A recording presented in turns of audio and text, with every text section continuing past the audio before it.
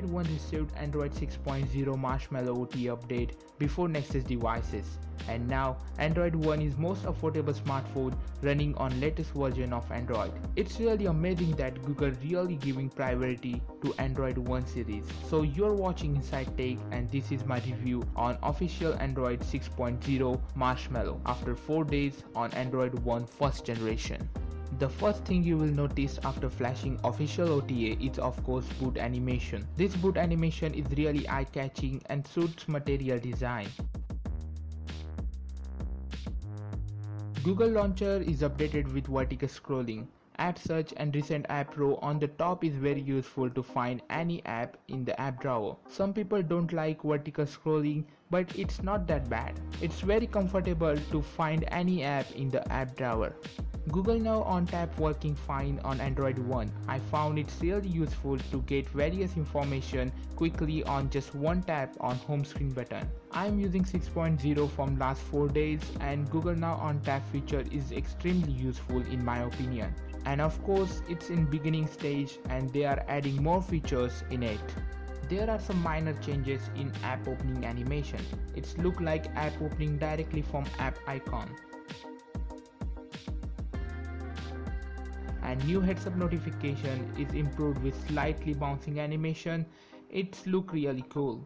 In lock screen we have google now shortcut on left side and now you can uninstall any app directly from home screen shortcut.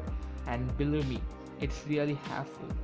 Copy and paste control are really improved with new share and translate feature translation is really quick and good thing is it pop up on small window unlike opening full Google Translation app. Good job Google, this will definitely useful for readers.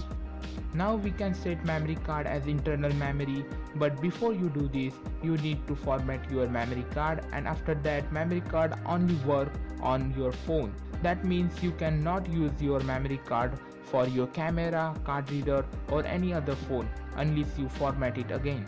It's pretty good for low internal memory phones and now you can install huge games like GTA San Andreas, Asphalt 8 at the same time unless your memory card get out of memory.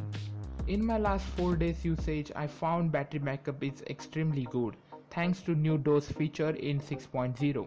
Especially at night or phone is in steady position, battery drain is almost negligible. Here is my battery graph and it's better than Lollipop. App optimization is super good. There is not a single lag. Now you can access do not disturb mode directly from quick setting.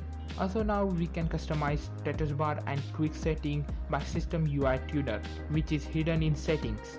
You can hold setting icon for 5 seconds and active this hidden feature and customize status bar and quick setting as your wish in Android One still there is no multi-user feature same as 5.1 Lollipop also there is no dark UI option in developer settings. We can unlock multi-windows features by tweaking build prop but it's still in beta version so you can expect some bugs. Overall Android 6.0 Marshmallow working stable and all feature working perfectly on Android One. Still some apps are not supported with Marshmallow yet. Instagram crashes when opening camera and I'm not able to send file through ShareIt app. Hope they will solve this issue in next app update but no problem with Snapchat and other camera apps. And now I am excited about CyanogenMod 13 for Android One and I know already developers start working on it finger crossed for that. So that's it for today guys. I hope this video is informative for you. Don't forget to leave thumbs up and comment down below. For more videos subscribe my channel and i will catch you guys in the next video. Stay awesome